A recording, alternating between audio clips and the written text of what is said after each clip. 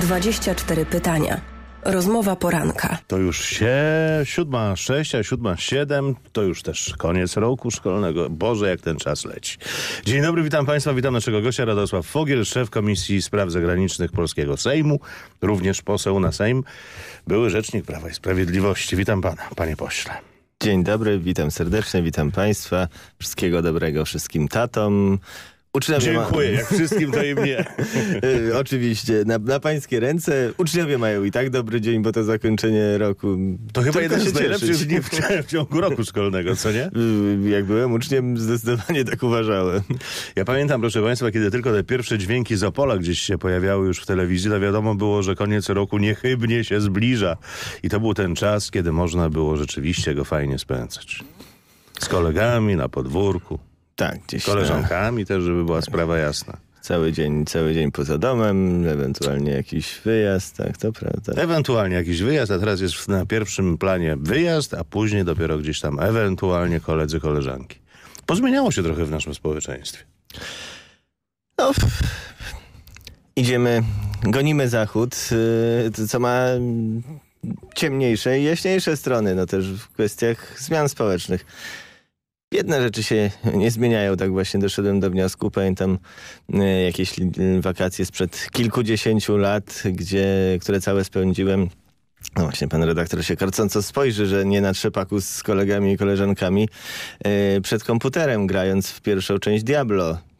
Tegoroczni, tegoroczni uczniowie mogą grać w czwartą część, więc mm -hmm. historia poniekąd zakończyła, zatoczyła koło. To prawda. Byłem, proszę Państwa, w tym e, tygodniu i w ubiegłym tygodniu i nad Polskim Morzem i w paru jeszcze innych fajnych miejscach.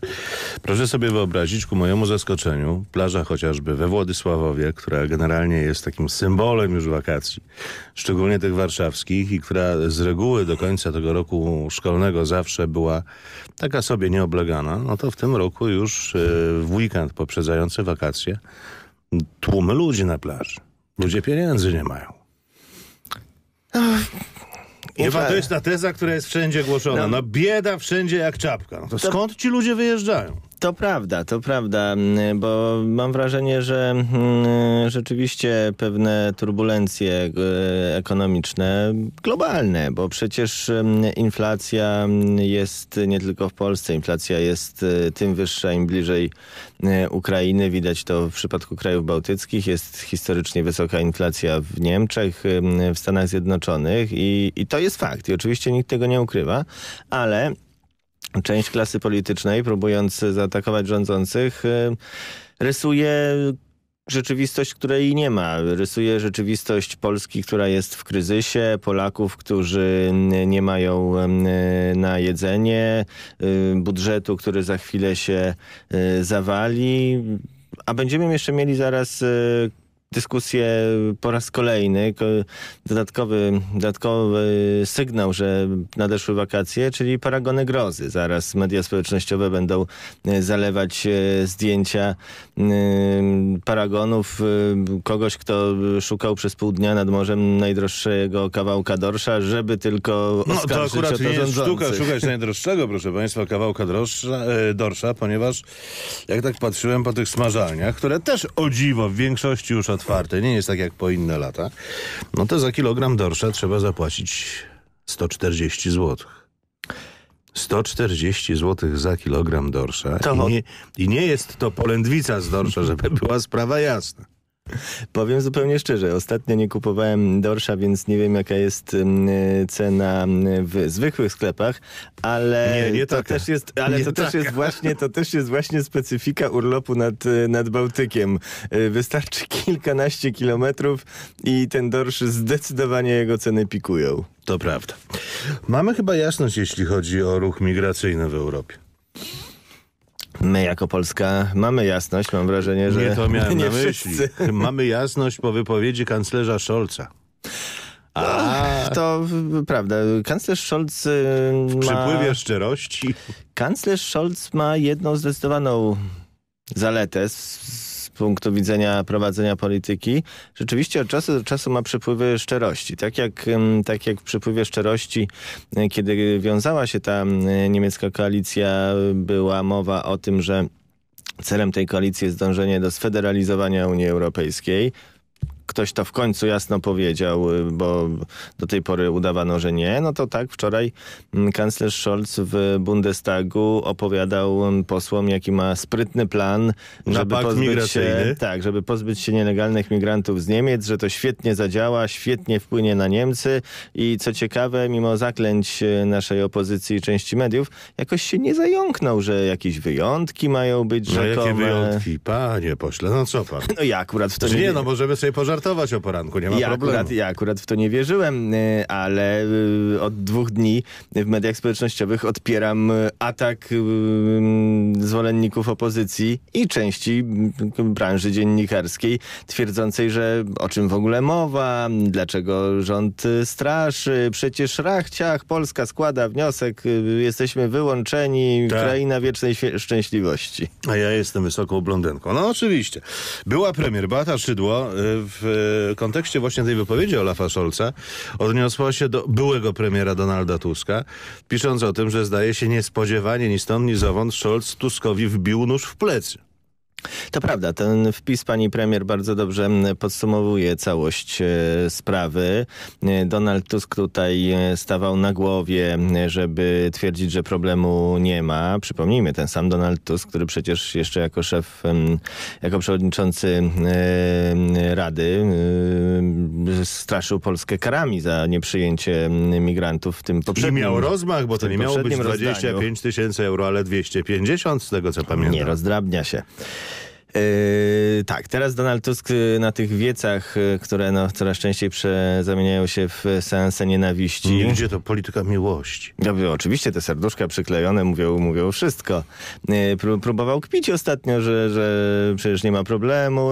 Mniej więcej ta narracja, o której mówiłem y, chwilę, chwilę temu. No i teraz przychodzi Scholz i, i mówi takie rzeczy, kompletnie Tuskowi demolując narrację. Nie wiem, czy zadzwonił zadzwonił do, do, do niego i, i, i zapytał i ty Brutusie, czy, czy auch, auch du, Brutus, bo no tak przecież, tak przecież zawsze Platforma Obywatelska zapatrzona jest w Niemcy, na niemiecką politykę, a tutaj taki, taki cios. No i jak się pozostałe państwa Unii Europejskiej teraz zachowają? E, to jest e, bardzo ciekawe, bo e, na całe szczęście my jesteśmy jeszcze w trakcie tego procesu. Oczywiście ten pierwszy krok jest bardzo niepokojący. To, że przymuszono de facto decyzje na poziomie ministrów spraw wewnętrznych. No i dlaczego na poziomie akurat ministrów spraw wewnętrznych, a nie premierów głów państw? To jest bardzo dobre pytanie. A, dziękuję.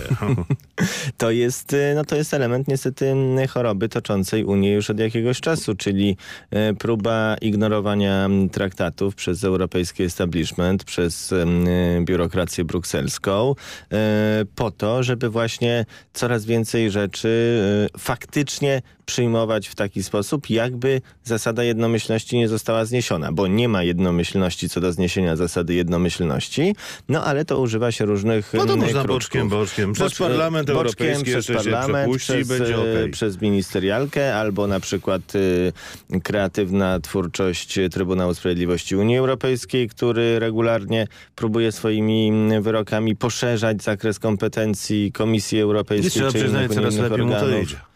No i to jest niestety pewien problem, tylko my możemy mm, o tym głośno mówić, my możemy pokazywać, e, co nie działa, no tylko Unia Europejska jest organizacją polityczną.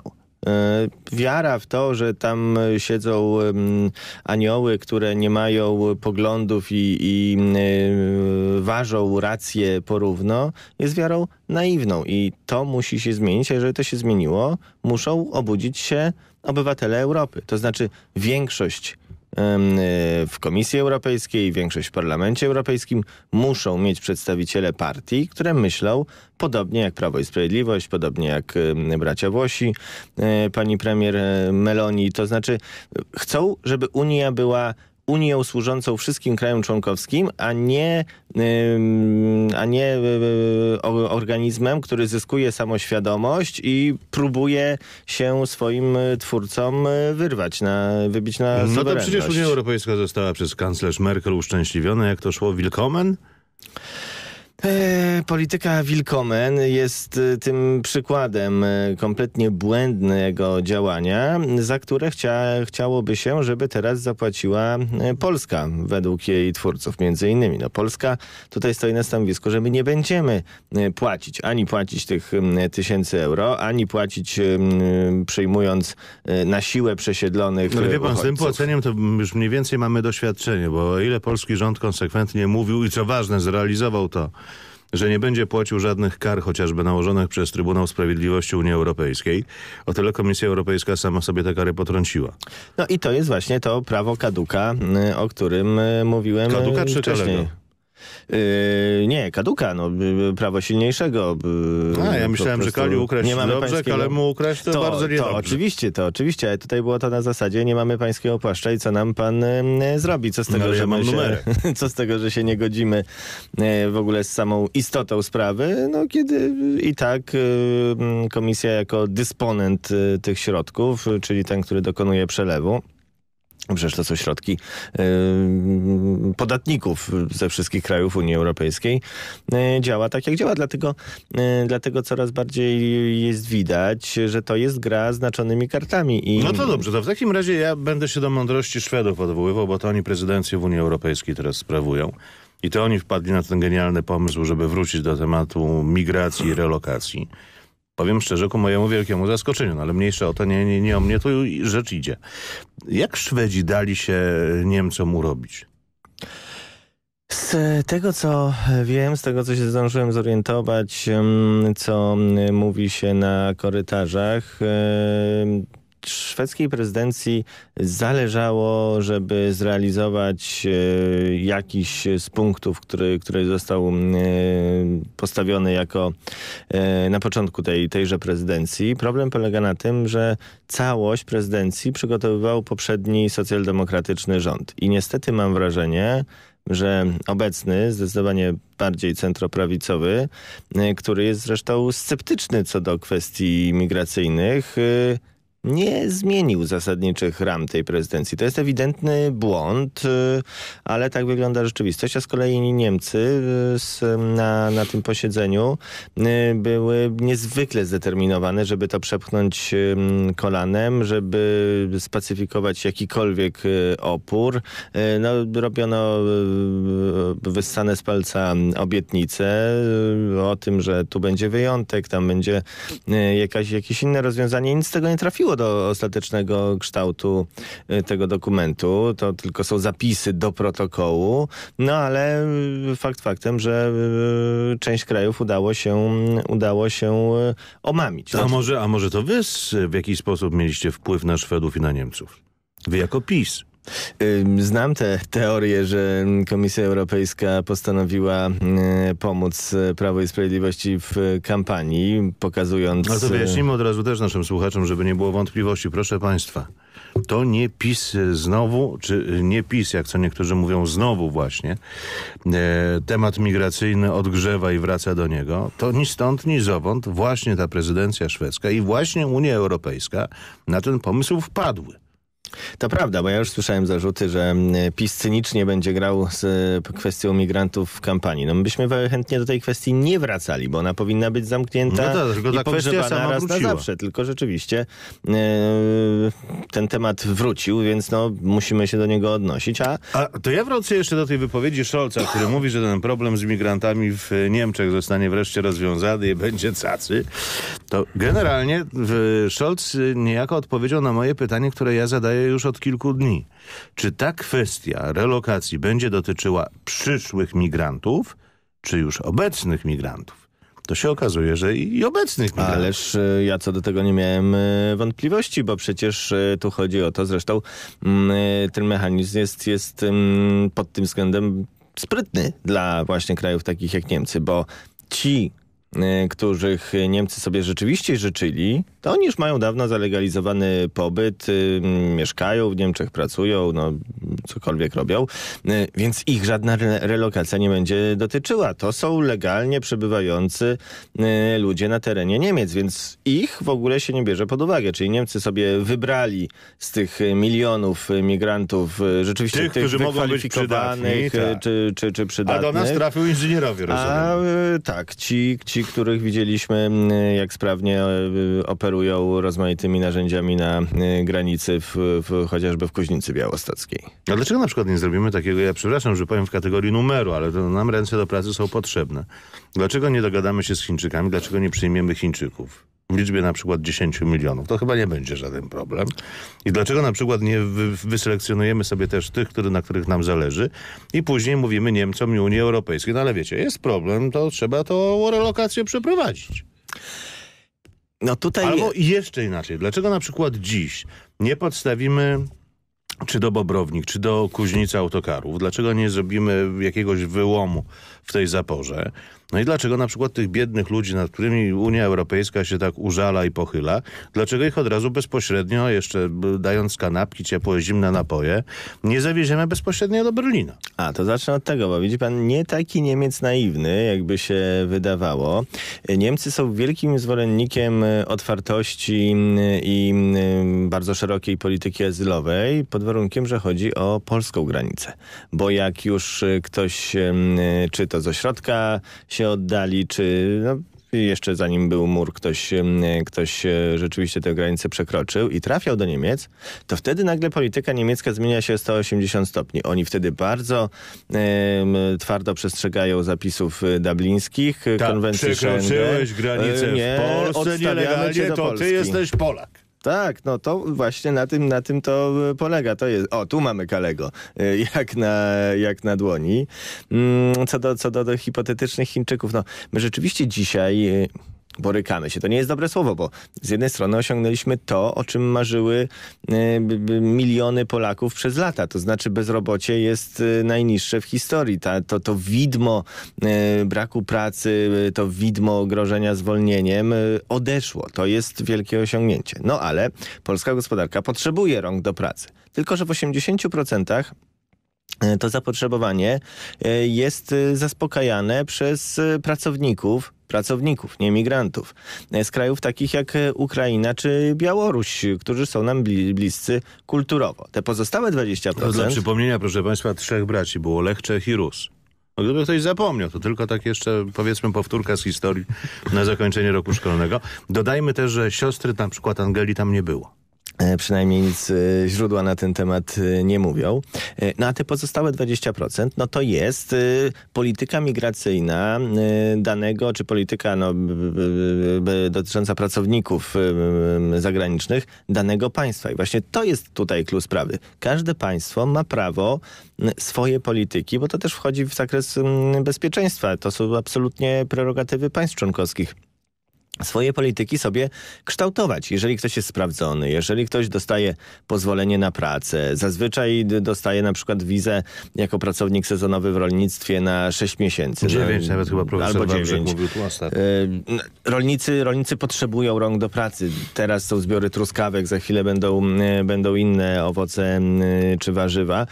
No ale ten ktoś wykonuje pracę. Czy tu... Może tak z ciekawości, są jakieś dane, kto teraz Niemcom zbierasz szparagi? No na pewno nie Polacy, coś o co walczyliśmy. Znaczy, ja wiem, że sezon szparagowy minął już, żeby nie było, ale tak pytam teoretycznie, tak? Trudno mi, trudno mi mm, powiedzieć, kto, kto teraz te niskopłatne prace wykonuje w Niemczech. Ale wracając jeszcze do tych hipotetycznych Chińczyków, no to też nie byłoby idealne rozwiązanie, bo widzimy w jaki sposób operują chińskie koncerny na przykład w Afryce. Ci pracownicy są cały czas bardzo mocno pod skrzydłami chińskiego państwa.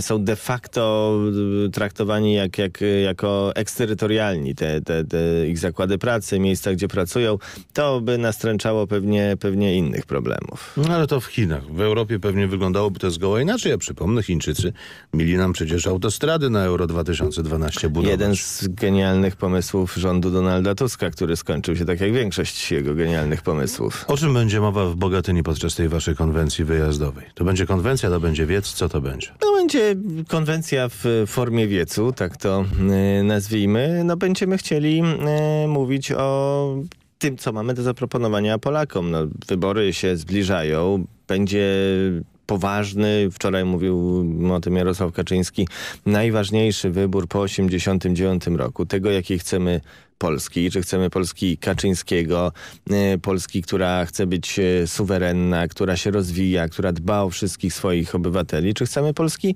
Tuska, która y, żyłuje. No to, to zdaje ludzi. się wczoraj w Jeleniej Górze padło i to później potwierdzał Cezary Tomczyk, były rzecznik Platformy Obywatelskiej. Albo my, albo wy. O, wspomniał pan, wspomniał pan Cezarego Tomczyka. No właśnie, czy chcemy, czy chcemy Polski, o której mówił Cezary Tomczyk jako rzecznik rządu Ewy Kopacz? która nie broni polskiej suwerenności, polskiego bezpieczeństwa i polskiego prawa do decydowania o tym, kto w Polsce mieszka, tylko która mówi, my jesteśmy gotowi na każdą ilość migrantów. To są między innymi te wybory. Radosław Fogiel poseł Prawa i Sprawiedliwości. Pierwszym naszym gościem, dziękuję panu, 27 minut po godzinie 7. Dziękuję serdecznie.